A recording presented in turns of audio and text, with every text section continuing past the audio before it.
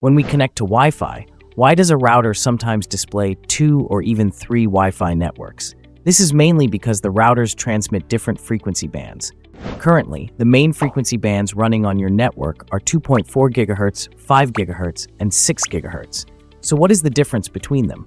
Among these three frequency bands, 2.4 GHz appeared the earliest and is also the ISM radio band commonly used in various countries.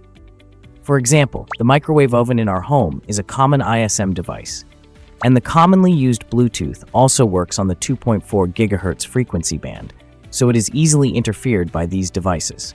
Later, with the improvement of Wi-Fi, the addition of multi-input and multi-output antennas, the 5 GHz frequency band was put into use, and in recent years, the 6 GHz frequency band was introduced to support Wi-Fi 6E and Wi-Fi 7 technologies. In terms of speed, the upgrade from 2.4 GHz to 6 GHz will also increase the data transmission speed. Let's look at the following three graphs. It can be clearly seen that 2.4 GHz moves much less times per second. This is the frequency, which refers to the number of cycles that the signal passes through in one second. So the transmission speed of 2.4 GHz is slower, while the transmission speeds of 5 GHz and 6 GHz are faster. Generally speaking, the 2.4 GHz band can provide speeds up to 100 megabytes per second. 5 GHz can provide speeds up to 1 gigabit per second, and 6 GHz can provide speeds up to 2 gigabit per second. However, this is not a fixed value. In actual applications, the speed is often affected by interference. In addition, the spectrum width and channel will also affect the transmission speed. The following are the data corresponding to different frequency bands you can see that the width of the 6 GHz spectrum is 1200 MHz, which is the widest of the three, so the transmission speed is fast. If you haven't understood it yet, we can think of these three frequency bands as roads, just as the number of available lanes on the road and the width of these lanes affect the driving speed and driving time.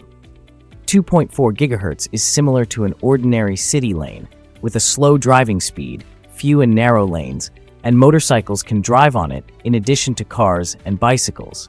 5 GHz is a highway with many lanes and only allows cars to drive on it, with high efficiency and high speed. While 6 GHz is a highway with more lanes, the widest lanes, no congestion at all, and the fastest speed. Next is the range. The frequency and wavelength of radio waves are inversely proportional. The higher the frequency, the shorter the wavelength, the weaker the diffraction ability, but the direct penetration ability is strong. However, the signal penetration will lose a lot of energy, so the transmission distance is shorter. So 5 GHz and 6 GHz have faster transmission speeds. Their signal transmission range is not as wide as 2.4 GHz. For example, at home, your router is in the living room, and you are also in the living room. At this time, you can choose the 5 GHz band to connect, which has strong anti-interference ability and fast speed. If you go back to the room and there is a wall in the middle, then choose 2.4 GHz to connect, which has strong diffraction ability and long transmission distance. However, many routers currently have smart connection functions, which can help you switch frequency bands intelligently according to distance and signal strength. In short, understanding the subtle differences in these Wi-Fi frequencies can greatly enhance your internet experience. We hope that this video can help you. The above is all the content of this video. Welcome to like and subscribe to our channel.